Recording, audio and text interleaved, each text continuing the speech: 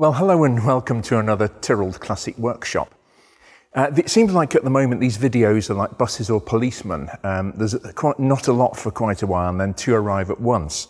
Uh, we had the workshop catch up a week ago and now we're uh, back in business. Um, I don't know, we've got, uh, we're beginning to develop a backlog. We've got the uh, how to start your classic car video coming up and also part two of the Ferruccio Lamborghini Ferrari and they are on the way, but these things don't make themselves. Sometimes take quite a bit of effort and timing and all that good stuff.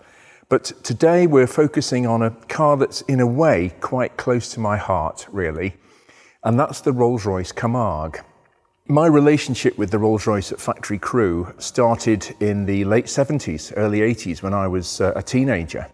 At the age of 19, I got invited to go and start working as a mechanic at the local Rolls-Royce and Bentley service centre workshop. And uh, I learnt, I worked on virtually nothing but Rolls-Royce and Bentley cars at that time, Silver Clouds, Silver Shadows, things like that. And um, I learnt quite a lot about them, obviously, over the time I was there. But one of the cars that was launched in the mid 70s was the Camargue, this car. And it has a very interesting history as to how it came about, and it is a very interesting car. And it's what I would describe as a Marmite car. You either like it or you don't like it at all. Um, and a lot of people fall into the latter category.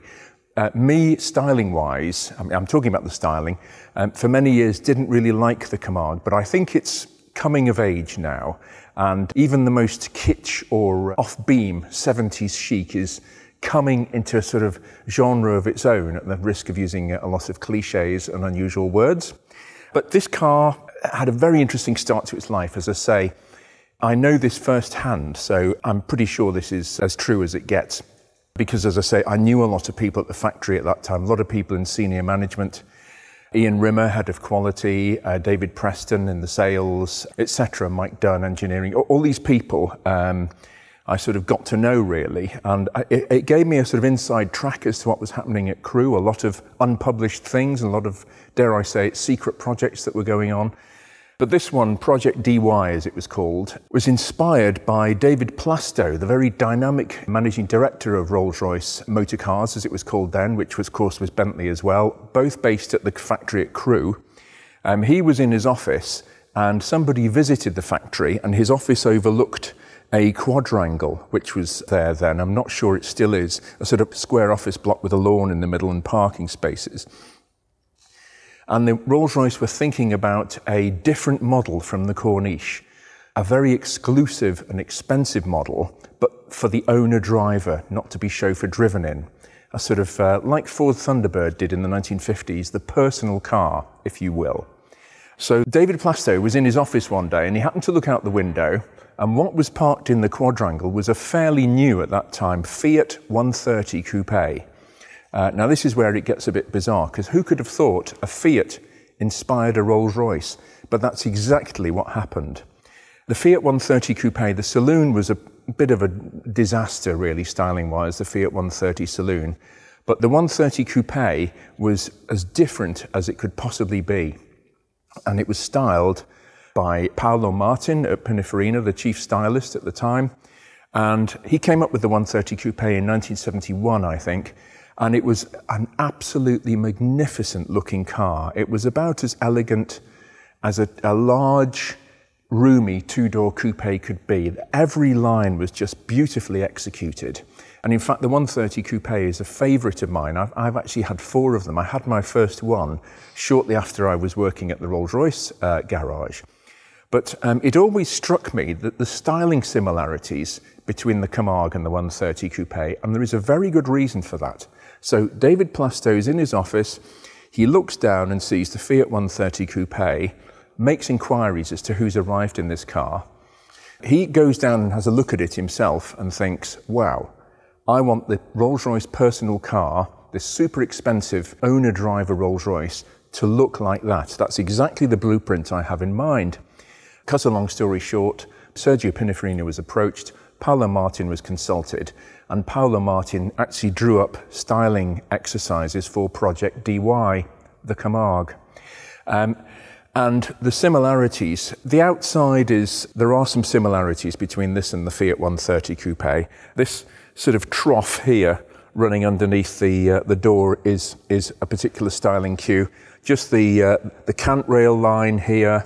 Um, but the most striking thing is the interior on the Camargue, styling wise, is almost 100% carbon copy of the Fiat 130 Coupe.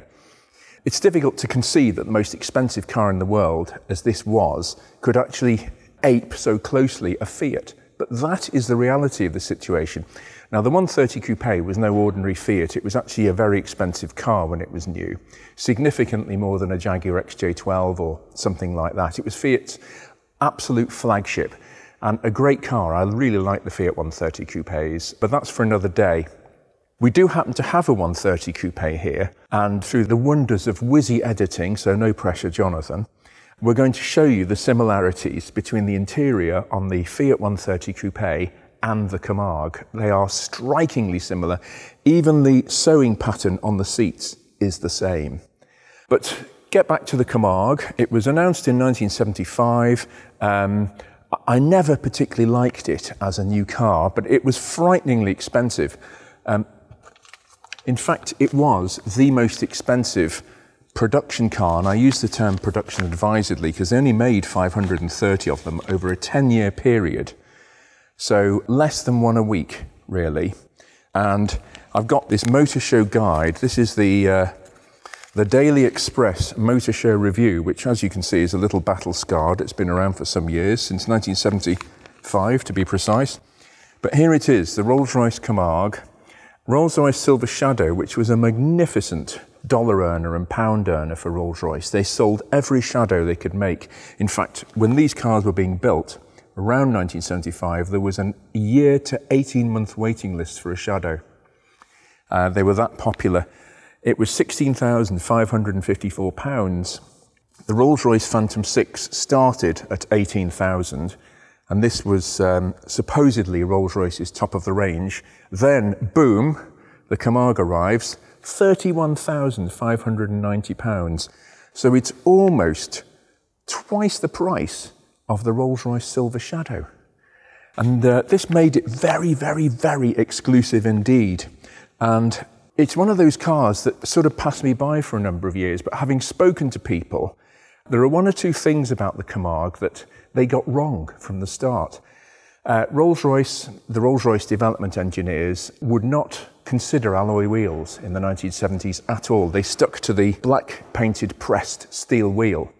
And this really sort of let the styling down. And if you look, the wheels on the Camargue, uh, in fact, these are later alloys, so um, this is nowhere near as bad as the production cars. They were quite inset into the wheel arches, particularly at the back.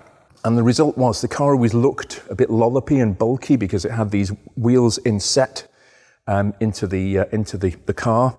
And the other thing was they got something wrong right from the start on the back suspension.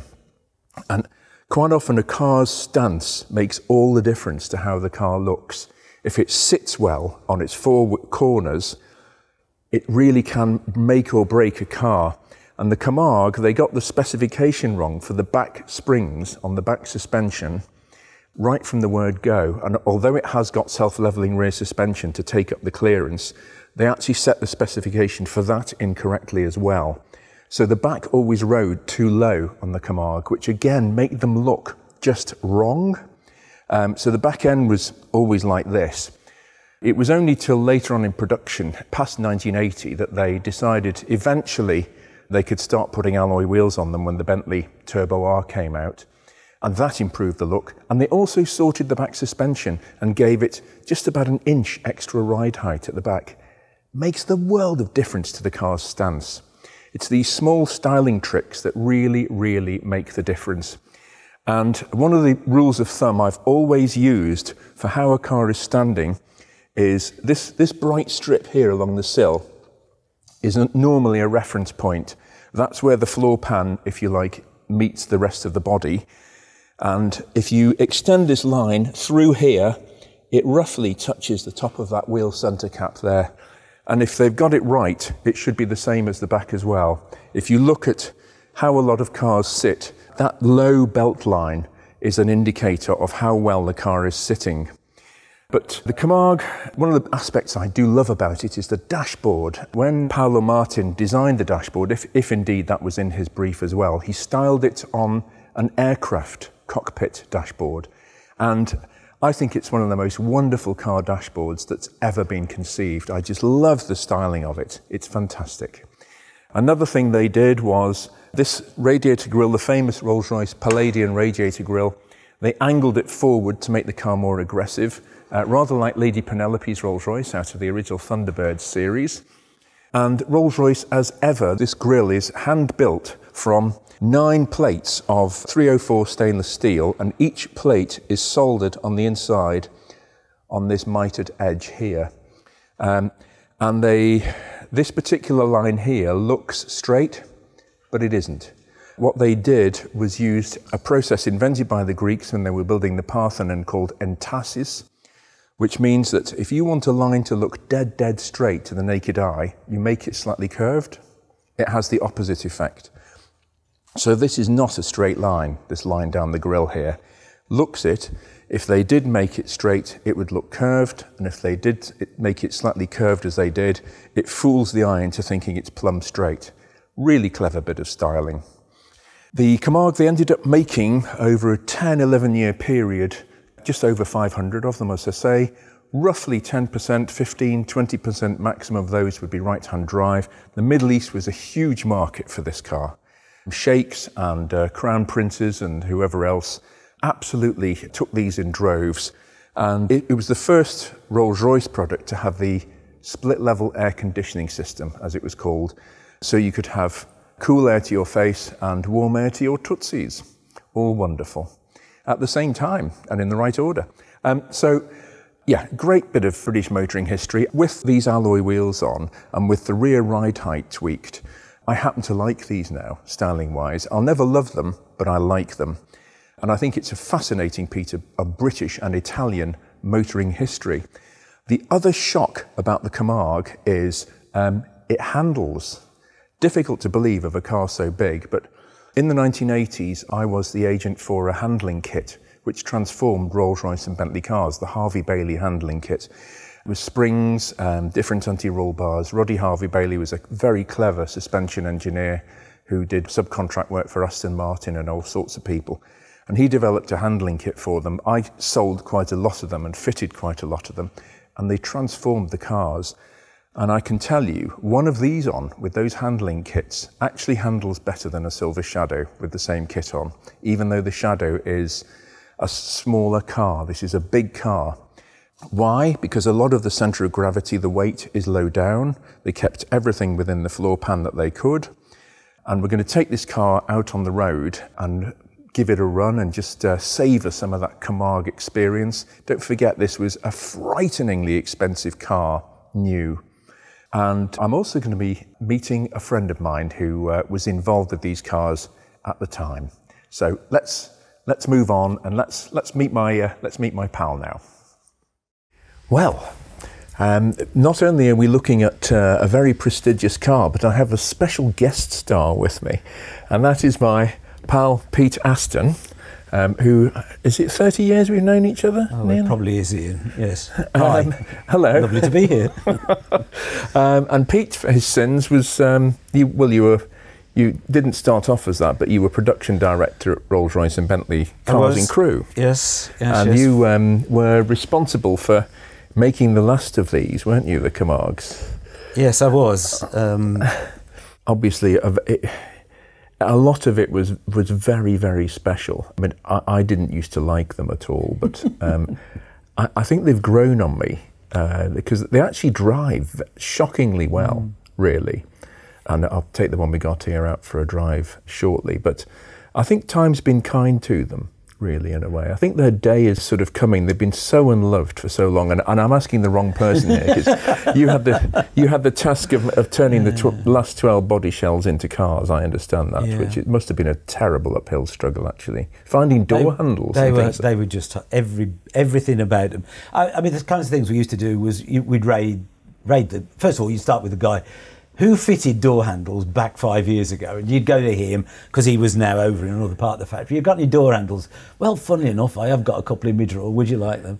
And then you'd go to the parts department. You know, what's your call on Camargue door handles? Well, we've got a couple in a box if you'd like them, right? Now, where do I get the other 10 sets from? And who made them? And and so this notion that well, if you've got the sets of bits and you've only got to put them together, and this will leach this amount of profit. Uh, We were eating this profit away in in great mouthfuls every minute because you then go to whoever made the door handles, Frattarinis or whatever. Um, will you make us three or four sets of Camargue door handles? Oh yes, oh yeah, yeah. Um, shall I tell you how much that's going to cost you? Um, well, we paid this for them when we bought them last time, 12 years ago. Yeah, yeah, but things have moved. So it was all of this kind of. I, th- I think most people will. Most people that were deeply involved in it would probably say we should never have tried to put the cars together, but that's a personal point of view. Yeah. Um, But put them together, you but, uh, did. we, but we did put them together. Um, there was one guy particularly assigned to build these cars and lovingly look after them. Uh, but back to your point, I, I think maybe they have. Certainly, I think they stand comparison with their peer group today in a in a in a very different way than they did at the time. I mean, the value of them even now is unremarkable, isn't it? Mm, it I- I- is, I- yeah. you know, considering what they were. Yes. Um, but I think, as happens with small volume cars, um, somebody out there, somebody, somebody out there, um, uh, falls in love with these things, and then you own, you know, this is your this is your business, isn't it? You only want one or two or three people to start fighting over a car, and all of a sudden, um, I was reading somewhere one of the um, there's a cabriolet, I think, isn't there? That we built one just one cabriolet Camargue, I gather. And I understand. I didn't know that. And understand that went for um, two hundred thousand dollars, for instance. And then somewhere out there, I don't know whether you've picked this up in your research. There's um, there's a Bentley Camargue. Um, I think we built that car prior to my time, but I think that was built for Dick Perry, who was chief exec of uh, Rolls Royce and Bentley in the early '80s. I remember Dick Perry. Yeah. Yes. Yes, he, yes, he was an interesting character. He was an interesting character. Now, just to talk to move on to and Arnage, which Mm-hmm. obviously we're trying to condense many hours of conversations over curries into a few minutes here. There was one particularly interesting thing when VW took over um, Bentley through some clever chicanery at the time, actually. And of course, you found yourself in a very interesting uh, meeting with Ferdinand Piëch when he uh, came to visit Crewe after uh, VW Audi acquiring Crewe. I use the term loosely. Um, and he, of course, uh, was hu- a huge force of nature in the car world. He was Dr. Porsche's grandson, and uh, he was instrumental in the development of the early Porsche 911, the Audi Quattro, the Bugatti Veyron, Porsche 917 that obliterated uh, the competition at Le Mans. Uh, massively clever and gifted engineer. Fair to say, an automotive genius, I would say. Oh, I think so. He he oversaw Bugatti, Lamborghini acquisition of all these brands and built VW into the global empire it is now. But um, and you were in the meeting, weren't you, when he came Sure. to visit? So this is a, a Saturday morning, days after it had become public knowledge that the fight, and it, it did appear to be a fight for Rolls Royce and Bentley Motors. VW had been successful in winning that fight. And my recollection of that, two things. First of all, bearing in mind that Seraph and Arnage, when you look at the underpinnings, there is a substantial amount of BMW. Yes. We'd had a long, probably 10, 12 year partnership by then with BMW to give um, Rolls Royce and Bentley access to things like air conditioning systems, suspension systems, uh, gearboxes and engines, and all those kinds of things. The presupposition always seemed to be with BMW well, of course, we will, come the day, we will acquire um, uh, Rolls Royce and Bentley cars. They got this um, uh, this close partnership um, with the car side through the joint development of a jet aero engine um, at the time, and it was advantageous to Crewe to take the opportunity of rummaging through the parts box, frankly, from an engineering point of view. two things came out of that Saturday morning meeting for me. One was that a number of us wanted to understand what Piëch's view of, frankly, what Piëch thought he'd bought. Because a number of us knew perfectly well what the Rolls Royce brand was from a Crewe point of view. We used to pay, there was a silly piece of negotiation every year to pay a penny, I think it was, for the use of the Rolls Royce trademarks. And this is what went back to the 1971 rescue of RB211 engines, was it? Yeah. At the time, by the government. Crewe really didn't have the Rolls Royce other than permission to use the Rolls Royce brand. And it, it was, I think it was clear to us in that meeting on the Saturday morning that Piëch thought they had bought Rolls Royce and Bentley. And we tried to be as delicately Oh. clear as possible. Bear in mind that this is a guy that's pretty firm in his views, shall we say, Dr. Piëch. That we, he probably hadn't bought Rolls Royce. Awkward, awkward. Awkward, absolutely. Um, but there is a point at which you don't press your point, um, especially seeing as you hope to be employed. Um, so we left that to one side. And then there was this glorious conversation about these cars. Um, I've got um, uh, BMW engines in, or we don't want BMW engines in, and one, one could quite understand that. At the time, we were making cars for the Sultan of Brunei, and somehow or another, um, and he, he did have an extremely uh, efficient grapevine. Somebody told him that we were building Arnage with the then old Rolls Royce and Bentley V8 and that in fact the um, Sultan of Brunei wouldn't have BMW engines. He would have, so we shoehorned, cut, shot, eased, hammered the old um, V8 into Arnage shells. And um, from my point of view, what he then said wasn't a problem. But you could watch the blood drain out of the engineers' heads because he said, Good, well, in 12 months' time, Arnage will have the Bentley V8 engine in it, gentlemen. And you could hear a pin drop in the room. like, how on earth are we supposed to engineer that? Because cars for Brunei were made, it's a bit like we started, were made in this thoroughly craft way. Yes. This was a car put in the middle of a craft workshop to make one or two that would take six or 12 months to engineer. Right, yeah. And here was Dr. Piëch announcing to the engineers who had nothing to do with these Brunei cars, these were hand built with ah, incredibly yes. skilled people, announcing that they would do this. It was viewed as a horrendous task. If only of things like weight, because the old V8s were a heavy engine, whereas the BMW were light. Oh, of course, yes. And you know the, the, the reworking of suspension systems and all the electronics.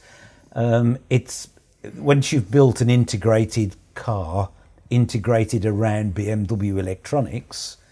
Here was Piëch announcing that we were about to sort of wind the clock back a decade or three, and you can just do this, can't you? Yeah. It probably says something for the cautious minds in Crewe that, of course, we achieved that, and the Yeah. uh, Arnage was launched 12 months later to great fanfare with Yes. the uh, old V8 in it. Yeah. And that was the red label, I seem to That was the red label, yeah. It started yes, off as, and then it became the T, didn't Yeah, it? it did. But it's it's so it's this is typically British, isn't it? This is quintessential. This is utterly British. Um, it's the absolute opposite end of the spectrum. You know, walking around the factory asking anybody if they've got a set of door handles hanging around in their toolbox. I mean, Mercedes, it would be itemised on a picking list somewhere, even if it was handwritten carefully in a book or something, uh, going back to the 1970s. It just creates mental images of sort of, you know, chaos, really. But, uh, And, and this is why I would suggest, Iain, that you love German cars. Have a, a sort of love hate relationship with Italian and can't make your mind up over British cars.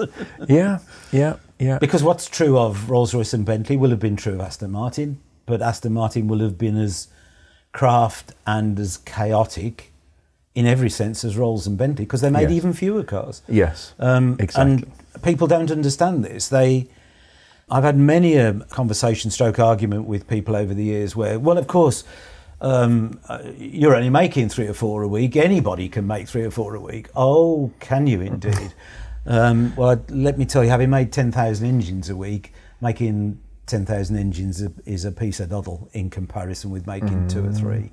Everything, everything that um, uh, goes into a production process is made simpler by the larger volume you make. Making tiny volumes is a nightmare. Yeah. Well, thank you very much for your Pleasure, um, Iain. your insight. um, I can feel another curry coming on in the near future. um, we'll uh, we'll have a debriefing session about this video, and uh, um, but um, yeah, thanks very much for coming over, pleasure. Pete, and uh, you know. I think we both appreciate these uh, YouTube videos. I certainly do. Well done, you. Uh, it's lovely to be part of one. Oh, thank you very much indeed. That's um, right. Well, we'd better get on with uh, with testing this car now and giving it a run and uh, looking at a couple of other things that made the Camargue special. Now then, I'll just look at another interesting aspect of this car. We'll take the rather large air filter housing off.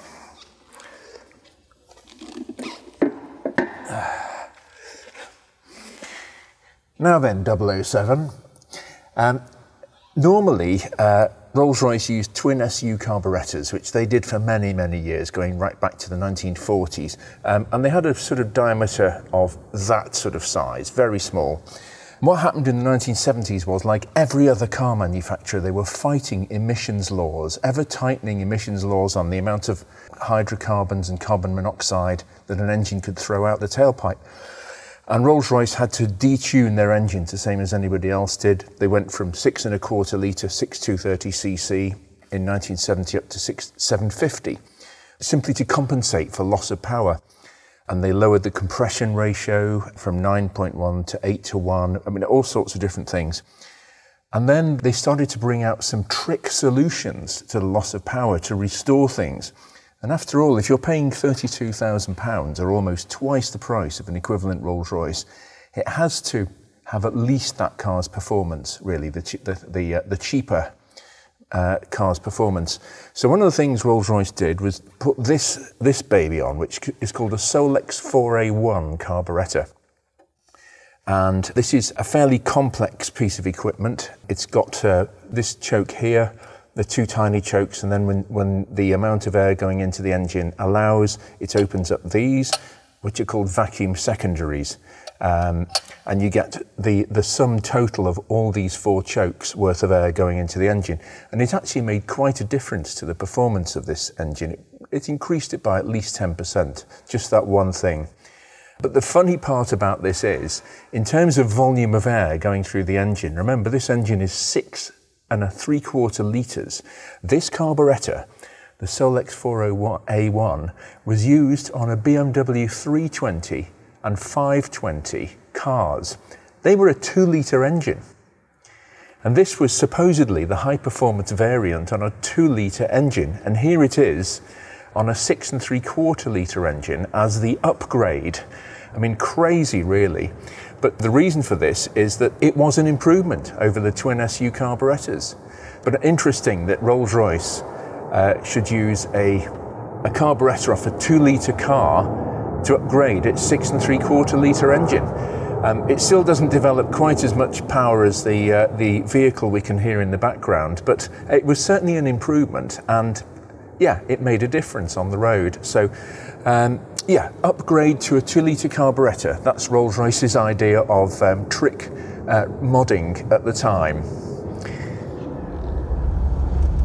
Well, as I mentioned earlier, one of the the joys of this is this wonderful dashboard, and uh, I just think it's a fabulous place to be. There's there is a real sense of occasion. One of the things with classic cars. Um, It doesn't matter whether it's a, a, a Mini, which in itself are very difficult to find now uh, for, for hardly any money at all. They're all suddenly worth something. Um, it doesn't matter whether it's a multi million pound Ferrari or whether it's um, this car, which isn't worth much more than a fantastic Silver Shadow, really, or what it is. It's about the sense of occasion. Do you? Is it a sensory experience driving a classic car and being in it? And the answer in this case is yes. It's fabulous.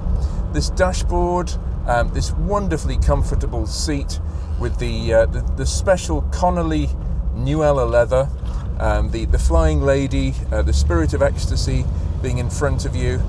Uh, and actually the, the lovely direct steering because it is direct um, this is a 1980 car, so it's got the rack and pinion steering, which uh, came out with the Shadow 2, and it's just a wonderful place to be. Um, I can I can throw this car around, negligible body roll, um, and it's uh, that V8 just quietly, that all aluminium V8, quietly burbling away in the background with that Solex 4A1 carburettor on the top, and there is a real sense of occasion. Uh, it's got the split level air conditioning, which is working beautifully. Uh, and I'm sat here in my uh, cosseted, imperious cabin. Um, not quite sure what everybody else around me thinks, but I'm enjoying myself. Um, and uh, it's just a great place to be. And as I said earlier, one of the beauties of this car is you can punt it round. I mean, I'm taking this corner in a reasonably spirited fashion, no, no pun intended, and um, it, it just hunkers down and goes. Quite incredible. It's never going to be a Ferrari, but considering it's a two and a quarter ton, hand built, 40 year old car, this thing can hustle, and that is one of the absolute delights of the Camargue. Um, in answer to the question, does this feel truly special compared to other Rolls Royces? Yes, it does. Um, I remember uh, when this first came out on BBC Radio 2, the national uh, radio station in the UK, uh, Gloria Hunniford, who did the lunchtime programme, actually drove one of these at, at, at its launch in 1975 and I could tell reading between the lines she was very intimidated and very nervous about the whole thing. But it really is very easy to drive. Um, it's uh, the body control is good. It's not wallowing round. It's not um, bouncing around. It's not got any of that roly-poly Rolls-Royce feel. And yet, as I say, it does handle. There's a, a particular favourite bend coming up in the road here, and I will just knock this lovely um, automatic transmission selector down to woo uh, to two and just hustle it a bit through the bends through this corner and um, yeah it just stays beautifully stable and beautifully um, poised. There it is. That was foot foot to the metal. Okay it's hardly um, the most uh, powerful engine in the world, but nevertheless, uh, with the Solex carburettor on it, it's about uh, 220, 230 brake horsepower, but obviously a lot of torque. Uh, that's the beauty of this engine. And the slightest uh, movement of the steering wheel is all it takes to. Uh, there's no free play in the steering. I just do that, and there it is. It's moving. It's it's, it's quite an undemanding car to drive, but uh, you've got this lovely fold out armrest in the driver's seat, uh, which just sits at exactly the right height for you to be able to rest but also have full control of the car. Um, I, have always liked Camargues uh, since the first time I drove one because they just drive really far better than they ought to. It's as simple as that. One of the things I've touched on when I have had visits from um, Dr. Eichhorn or Dr. Paefgen, one of the things we, have discussed is the word waftability. Um, and basically, that was their English word to sum up the Bentley experience of uh, sort of just riding on a wave of torque, wafting along. Now, of course, in the turbocharged cars, that takes on a whole new dimension. But even in this, there is that that waftability, that um, that sense of far more power than there actually is from the engine, and um, just being able to to waft along on a, on a wave of torque. Um, and this uh, General Motors Turbo Hydramatic uh, 400, the GM 400 transmission, of its time in the 1970s was almost certainly the smoothest automatic transmission uh, it was possible to come across. Um, and it really is, it does just waft along this, this car. Um, I'm going to pull out to overtake this cyclist and well that was a little more than wafting but um, you get the idea that was the uh, that all four chokes of that Solex 4A1 four choke carburetor kicking in there. Um, and um, interestingly, uh, refinement has always been the byword for Rolls Royce at the risk of stating the obvious. And one of the overriding concerns with any engine they've developed is the noise or lack of it. And even though this has got a fairly big throat, this, this carburetor, it's got four very hungry throats waiting to gobble up a load of air and petrol. Uh, they've actually made the air filter out of sufficiently thick material that you can't uh, hear too much induction roar. So if I just, it's there, but it's not overriding your sense of sort of calm in the cabin, really. And this was about as far as Rolls Royce were prepared to push it at this time, until, of course, the Bentley brand took the uh, the leap it did in 1982, and Rolls Royce and Bentley's world irreversibly changed when the Mulsanne Turbo came out. And the the funny thing about that was it was actually developed around the time of uh, of this car being contemporary. Um, the, the, story of uh, how the Bentley Turbo came about is for another day and another video, but it was very much around the mid 70s uh, that that was uh, developed. So, yeah, um, but that all comes back full circle to the, the waftability, that that sort of feeling of, of power uh, in in the car. And uh, for anybody who was parting with their thirty-two thousand pounds in 1975 onwards, uh, for those 531 people, this is what it's all about. That imperious, uh, commanding feeling, which is very un PC these days, but we don't buy a classic car to be conventional. We buy a classic car for fun and uh, edification, and in that respect, this delivers it in spadefuls. In raw terms of smiles per mile, is this car a winner? Absolutely, it is. It represents a very interesting uh, time in in Rolls Royce history. It was the most expensive production car in the world. It still reeks of quality in a way. Um, yeah, it needs some work. It's a fixer upper, this car, but what a lovely place to be. Really, really like this car. Rolls Royce's philosophy, and I include Bentley in that at the time, was to make everything as light and as effortless to work as possible. And that even came down to the gear range selector, which, I mean, a lot of American cars, whether they be Ford, Chrysler, or GM, all of them had a standard sort of method of automatic gear range selection, which was to have park at the top and then a cable operated or mechanical mechanism for reverse neutral drive. And it was standard in all US cars. Because Rolls Royce was such a big market in the US, Rolls Royce came up with this very clever electric gear range selector. So it works the same way park, reverse, neutral drive, etc. But it's, it's just fingertip control because it controls an electric motor, um, which makes it incredibly uh, lovely to use, actually. It's just beautifully engineered, this mechanism. Um, and for the Camargue, they did something really strange. They put this bend in it here which actually, instead of it being up here like a conventional American automatic gear range selector of this era, and also a Rolls Royce one, It's actually bent down so that it actually feels extra special. I know it sounds weird, but it does feel different and it does feel special. This is the level of detail that they went to. Incredible, really.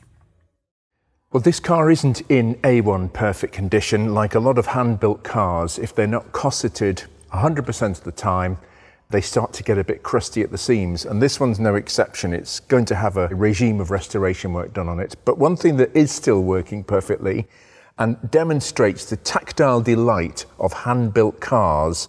Um, and remember that this was the most expensive car in the world, is the door handle. This is the first thing that people engage with when they actually get in the car. And this piece of beautiful craftsmanship is exclusive to the Camargue. You can't do this with any other Rolls Royce, but I'm now going to use this little finger to open the door.